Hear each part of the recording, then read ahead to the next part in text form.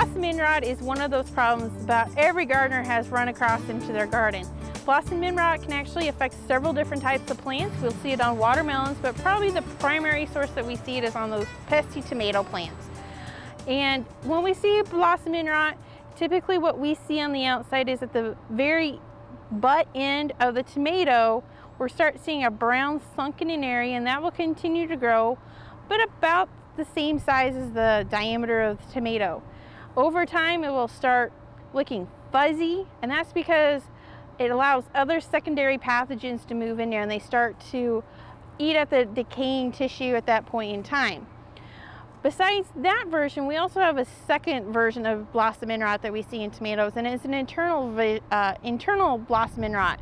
And with internal blossom end rot, the tomato fruit actually looks perfectly normal on the outside. You're not seeing a bump or a black spot at the butt end of that tomato fruit.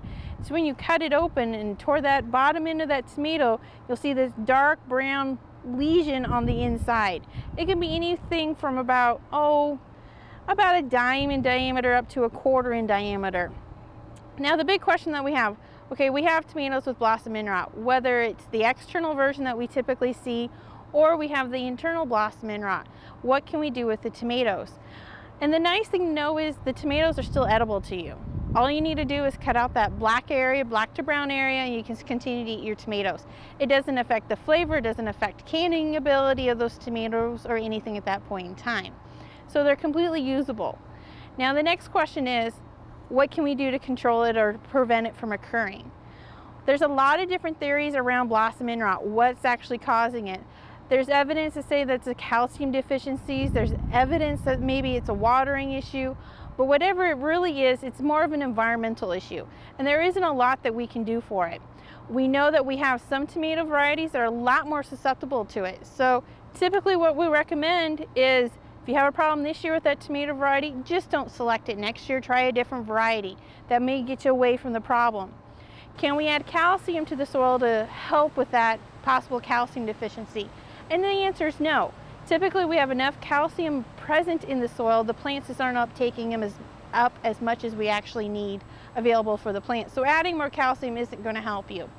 The other big key with it is just make sure you do constant maintain watering throughout the growing season.